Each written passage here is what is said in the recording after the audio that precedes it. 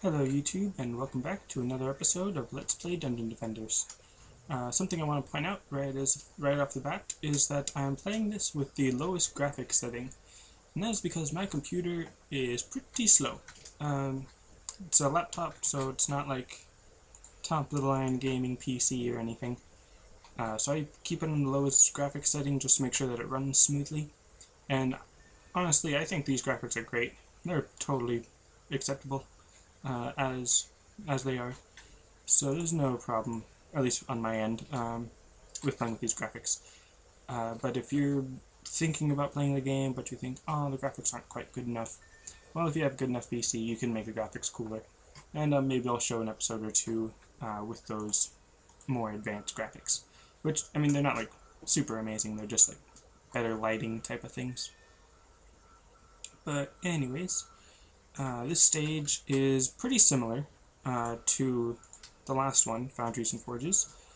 Uh, the only difference is that now uh, the pathways are a little different, and instead of um, what would be the term? Instead of putting my defenses right where the doors are, I'm putting my defenses a little closer to the crystal. Um, that's because there's two doors well, last time there was two doors as well, but um, uh, what am I trying to say? Uh, the doors split paths a lot quicker. So I could place two towers on both of these sides to make sure that I get everything, or I can do what I'm doing now and just move my towers a little farther back so that all of the enemies are going to be coming down these three lanes. Um, that way I don't need to spread out my defenses as much. I just need to focus them in one area uh, to make sure I get everything. And what I especially like about the harpoon turrets is that they have infinite pierce, pretty much. I haven't seen them not have infinite pierce, pretty much. Uh, so, uh, as long as they're coming down this long hallway, or staircase, I guess, um, the harpoon turret will be able to pierce right through all of them. So, that's a nice little, um, what's the term? Like bottleneck effect. Uh, and again, because now I have the harpoon turrets, the archers are no problem. Although apparently in this level, or at least this round, um, they weren't very smart. They just kind of walked right into my spike blockade. So that's nice. Now, already, I have a spike blockade and a harpoon turret in front of all of these staircases. So I'm pretty much set. Uh, I could just upgrade them, and then I don't know, maybe build a couple more. Because uh, there is something new this level, the Wyverns. Uh, they don't come very soon in this level, but they do come. So, oops, um, I will need to change up, or not change up my defenses, but uh, uh, build a few more harpoon turrets to deal with the wyverns, or wyverns, or however you pronounce them. Uh, I've heard it both ways, or multiple ways, I guess. Uh, what else, what else, what else? I probably should have collected all the mana. Uh, that would have been nice. But because my defenses are pretty good as they are, I'm not too worried about collecting mana. Because all I'm using them for is upgrading, and like I said, my defenses are pretty well off. So there's not really much of a need to upgrade. It's more just because I want to. Uh, now, there is a tower that I get, I think, at level 15, maybe maybe 11, I don't know what level exactly, uh, but it's the bowling ball tower, which I kind of consider it more of a cannonball tower, but I suppose bowling ball works. Um, instead of the way the harpoon turret pierces through all of its enemies, uh, the bowling ball bounces off its enemies, which I suppose can be helpful in some instances, but every time I use it, it's usually better to use the harpoon turret, just in my opinion. Um, because the pierce can go can go through uh, all the enemies, but the bowling ball turret only bounces around I think five or eight times before it bursts. So uh, you've got a pretty limited amount of attacks, I guess, with the bowling ball. Even though the bowling ball turret does have a much longer, narrower range, uh, so it is better, I guess, for the really long straight paths in that regard.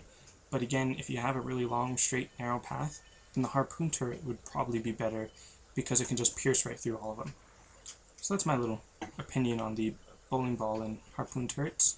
Now check the mini-map, and in the bottom corners, you can see that there's wyverns, or the little orange things with the two next to them. Uh, that means that they'll come through that door down there, and then they'll just fly up towards the crystal. So I'm going to need a couple harpoon turrets. Uh, now right now I only have enough mana for one, then I just need to go over here and get some more mana. Now, I'm not 100% sure if my harpoon turrets will be enough. The problem that I have with the squire uh, turrets, or towers or whatever, is that they're really good for getting multiple enemies in a lane, but they don't really have as much anti-air in the terms of area of effect, because all of their, or all of his, the only two long-range towers that he has is the harpoon turret and the bowling ball turret uh, as opposed to the Apprentice that has four long range. Mm, the Lightning Tower is a little close range, but still, it's pretty good, uh, especially for area of effect type of things. Um, problem with the Harpoon turrets is that it pierces through a lot of enemies, but it doesn't necessarily hit a large group of enemies. Now, I could have made another Harpoon turret, but um, I'm sure it'll do okay. Uh, Wyverns, the problem I have with them is that because right now I don't have very much range, I don't have very much uh, time to hit them because they're not within the harpoon turret's range for very long. So it only gets one or two shots off at most. But um, for this first wave, that doesn't seem to be a problem because there's only two wyverns. But in the next wave, I'm pretty sure there's going to be three. It'll maybe start off with one at first and then another set of three will come after that. So that's my problem with them. But if I had more attack power, then I could easily just kill them in one hit, so it wouldn't be a problem. Or if I had more attack rate, or uh, rate of attack type of thing, uh, rate of fire, uh, then I would have a little better defense because I'd be able to hit them a little more uh, within the time that they're within my range. Basically, better stats means better outcome usually. Um, it does, your tower placement does make a difference. Like uh, I was talking about the first episode that I had used some kind of mod to get a bunch of really epic stat type stuff. Um, but even when your towers are totally overpowered, destroy everything on the screen, pretty much, um, like infinite stats, that doesn't necessarily guarantee victory all the time. Because even if your Spike Blockade had infinite health and infinite attack power, the Wyverns can just fly right over it. So, um, just pure awesome stats isn't enough. You need to use the right towers in the right places, um, and I guess at the right time to be able to really use all of those epic stats that you would get. Uh, so I'm not actually that worried about whether or not uh, the way I'm distributing my stats is good enough. Um, because like I said, it's a little bit more about your tower placement than just the power of your towers. Even though, obviously, the power of your towers is very important. You could have the best placement of your towers, but if they have zero stats, then they're not going to do anything. So you kind of have to balance that. But then again, that's not really like some bold new strategy. It's just kind of the way the game works. Uh, now, I probably didn't need to get hit right there, but uh, I try to stay near the towers when there's wyverns, because then hopefully they'll target me rather than the crystal. Because occasionally, uh, if the harpoon turret or whatever tower you're using um, doesn't hurt them well enough, then they'll usually just kind of fly right over them and then go towards the crystal. And then you'll, unless you have a tower facing the crystal, you'll have to go in there yourself and get rid of them kind of like uh, dealing with an archer.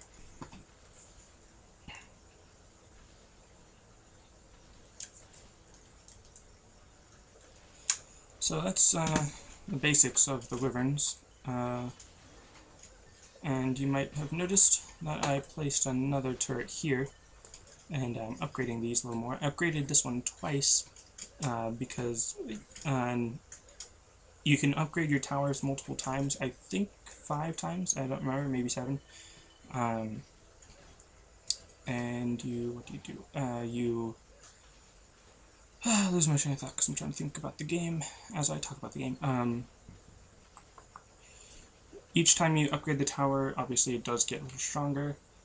I don't think the difference between non-upgraded and upgraded once is the same as upgraded once and upgraded twice, if that makes sense. Um, but obviously, upgrading it more makes it better.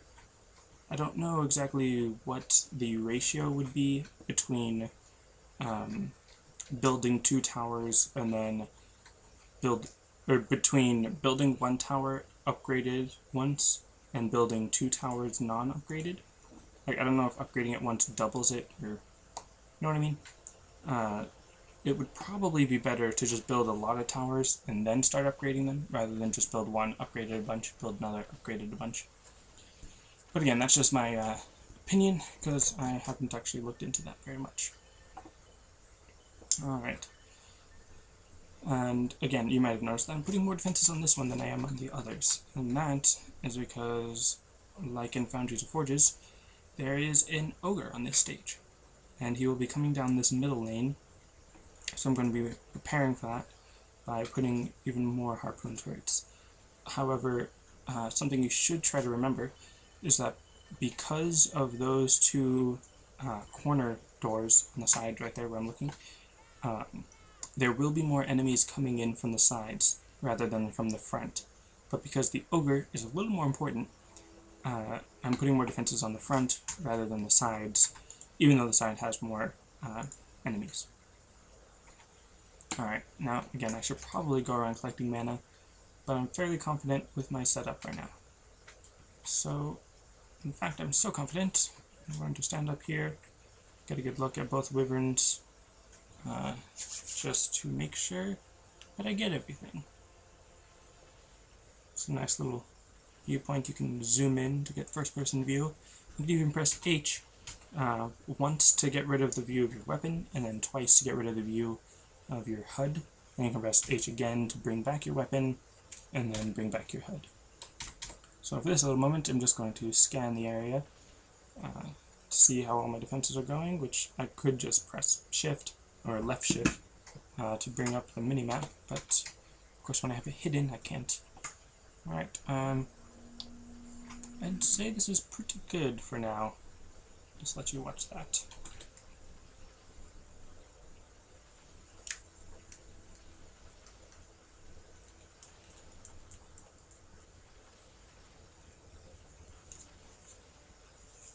Alright, so, uh, as you can see there's more wyverns four of them now, which means I may have to fight some. Uh, yep. Or actually, no, because that one is actually attacking the harpoon turrets, and it got within the range of the attack, and I almost died. Because uh, those are little lava pits right there, and down there. If you fall in that, you will die. And you will lose all the mana that you're carrying. Alright, what else should I talk about? I don't have enough mana for that. Um, Alright, uh, there's more wyverns coming, and I didn't keep track to see... Yep, they're all dead. And, oh wow, I really need to go repair that over there. It's very good to keep track of the HP of all your defenses. Because uh, obviously, soon it's not doing so good. Oh, and there's an ogre. Forgot this was the final wave. Uh, instead of repairing it, I'm going to upgrade it because upgrading, uh, usually by the later half of the game, uh, upgrading will usually go faster than your uh, repairing, because especially for something like a Spike Blockade, you're going to be giving it a lot of HP. Um, so if you are, you can increase the speed that you repair and upgrade, but right now I don't have any stats in that. I only have uh, stats in my defenses. So if it has like 10,000 HP, uh, it's going to take me a while to repair it. But if I can upgrade it um, to one level, then it's not going to be as long as if I was repairing 10,000 HP. And whenever you repair it, it restores it to full health. And I probably should have repaired that too, but it survived, so it's good.